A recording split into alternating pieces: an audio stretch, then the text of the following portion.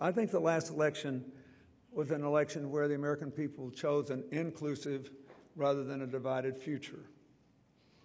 They also were pretty savvy. They decided they believed in arithmetic after all, and they didn't like it when somebody said, We're going to do this and we're going to give you all these tax cuts. And then, when asked about what did it mean and how would you pay for it, they said, See me about that after the election. That was a good thing.